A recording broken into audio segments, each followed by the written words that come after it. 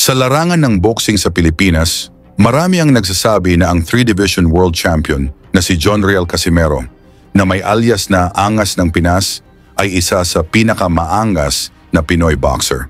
Patunay dito ang kanyang mga nagawa sa ibabaw ng ring.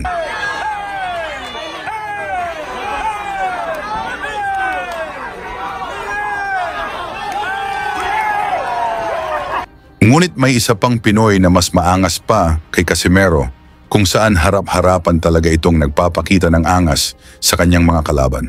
Ngunit hindi lang ito puro yabang, taglay rin niya ang lakas ng suntok na talagang may epekto sa mga natatamaan. Ito ay si Nathaniel Bustamante na mas kilala bilang Salt Papi.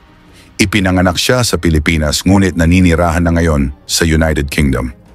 Una siyang sumikat bilang YouTuber sa social media Ngunit mas nakilala pa siya nang pasukin niya ang mundo ng boxing dahil sa kakaibang lakas ng kanyang mga suntok. Nung bata pa lamang si Salt Papi dito sa Pilipinas, hilig na niya ang boxing. Tumira siya sa Lucena City at marunong din magtagalog. Dahil sa pagdami ng mga manonood ng Boxing of the YouTubers, naisipan na rin ni Salt Papi na pasukin ito. Unang lumaban si Salt Papi sa boxing kontra kay Halalham na isang Briton naganap ang laban sa SSE Arena sa London. Sa simula ng laban, si Papi ay naka-southpaw stance at nakadilaw na trunks, habang si Halalham naman ay naka-orthodox stance. You're seeing a southpaw and an orthodox fighter, which normally can lead to head clashes and... Oh, clean limbs from Soul Papi. Halal was rocked, guys. That looked a bit more like unbalanced to me, but I think both guys are realising that this pace is going to be very intense to keep up from him. But overall, he's looking like he's trying to figure out what to do. Puppy's straight left. He's got to look for new ideas. He can't let all of his taunting get inside of his head, but very quickly, we're almost seeing him shell up. Sa bandang huli, si Salt Papi ang nagwagi via unanimous decision at marami ang humanga sa galing at lakas ng Pinoy.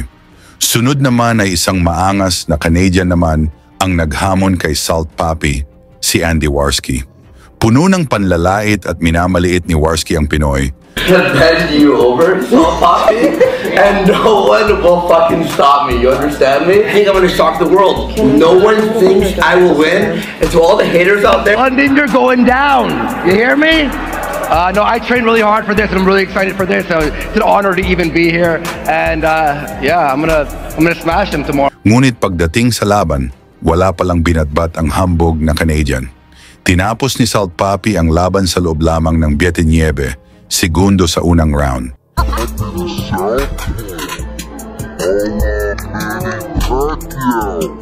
Philippines.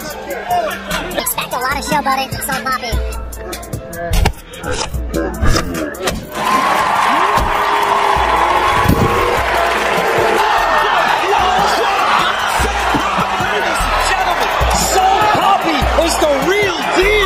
Dahil sa first round knockout na panalo ni Salt Papi, lalo siyang naging popular sa boxing of the YouTubers. Got his name after posting videos of himself pouring salt from above his shoulder like Salt Bay.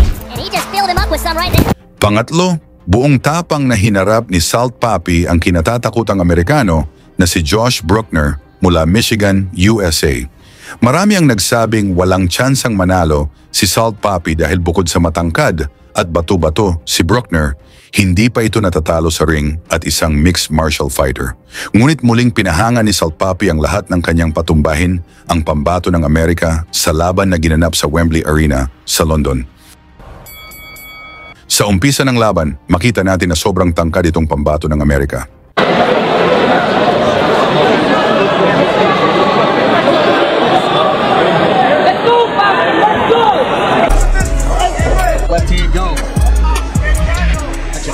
Josh doing a good, way, good job of circling away from it.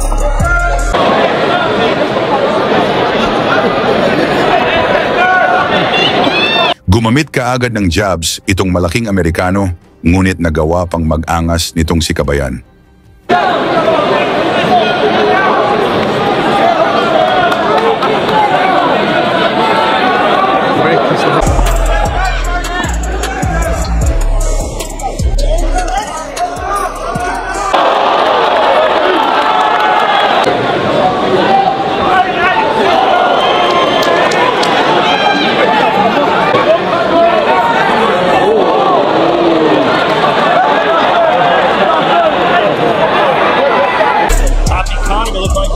almost on the way in. Oh,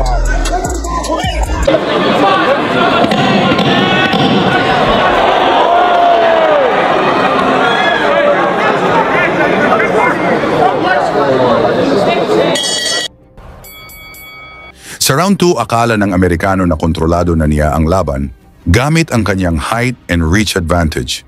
Ang hindi niya alam, humanap lang ng magandang teaming si Salpapi upang tapusin ang laban.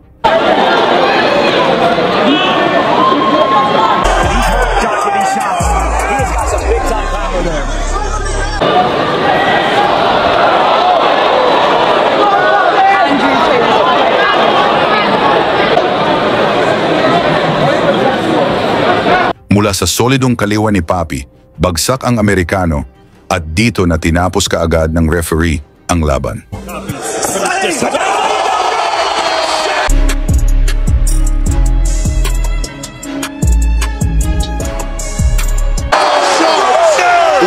A shot! It's all over!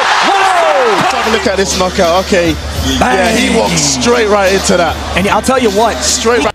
Nakuha ni Papi ang technical knockout na panalo sa ikalawang round. Tungkol naman sa pinakita ni Papi, pag-usapan na lang natin yan sa baba at salamat sa inyong suporta.